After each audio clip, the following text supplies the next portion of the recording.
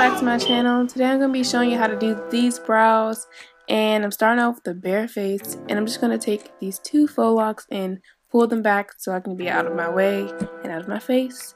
And my face is very bare. I don't get my eyebrows waxed, threaded, anything. This is literally how I was born and nah. So I'm going to turn them into that, into something beautiful.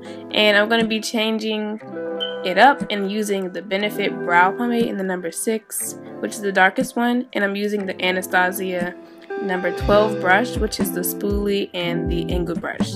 So I'm just taking some of the Benefit product and I'm literally working it in at the top. Uh, I really don't have like a structured like way that I do it. I literally start filling in filling them in and like making a shape at the top. And like I just kind of follow like where my arch is. And I have like non-existent tail of my brows so I literally have to make it. So as you can see I'm literally like making the tail of my brow and arching it and then filling it in with like short strokes of the Anastasia brush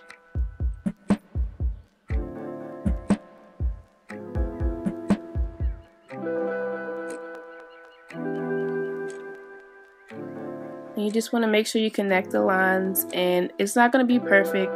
I mess up with my brows all the time, so it's not going to be perfect at all. But you always can correct your mistakes when we're going to go in with concealer.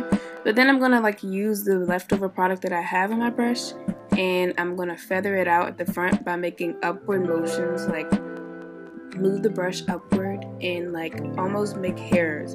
And that will just make your brows look so much better in the beginning and like fade them out. So yeah by doing that. And then you can brush it out a little bit with the spoolie at the end.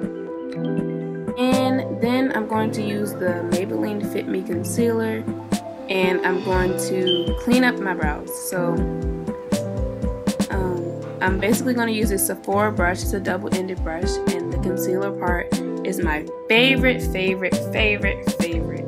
I love it so much because it's so skinny and like precise. It just gets, I don't know, it's just really good. So I use this and I literally trace over what I just did.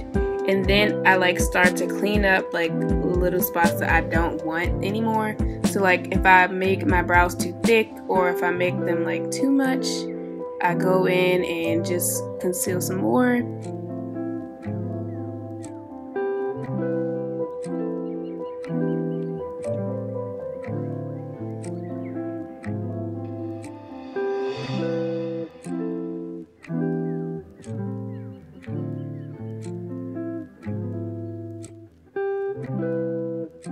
I also use my finger to like wipe away some of the product and also blend it in. And I also use some of the back of the brush sometimes to also blend the product. But most of the time your finger will do the trick. So you don't really need it.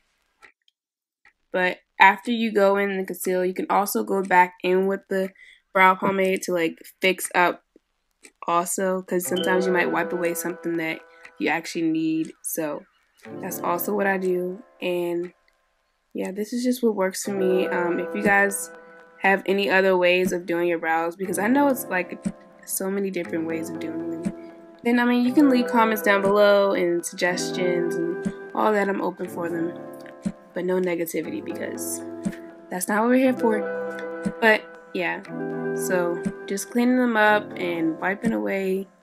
And basically, once you blend it all out and brows are just complete. And you know, just remember, make sure your brows are sisters somewhat, you know what I'm saying? They could be stepsisters as long as they're related, you know. Know, nobody's brows are usually twins. Just don't make them like foster children and different dads and stuff. So, yeah. But um hope you guys enjoyed this video. If you do enjoy this video, please like, comment, and subscribe to me so you can see more like why would you not want to see more? And love you all. Bye.